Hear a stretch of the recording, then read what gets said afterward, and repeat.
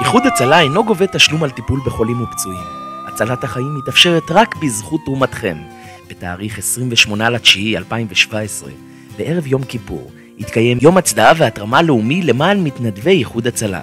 בואו להיות שותפים בהצלת חיים ולתרום להמשך פעילות מתנדבי איחוד הצלה.